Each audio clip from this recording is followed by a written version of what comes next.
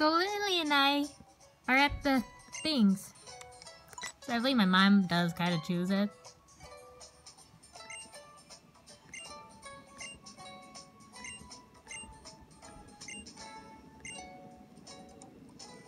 Hmm? Arigatou gozaimasu! Probably not gonna use that, but thank you.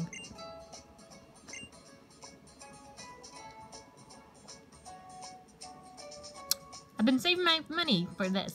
Yay.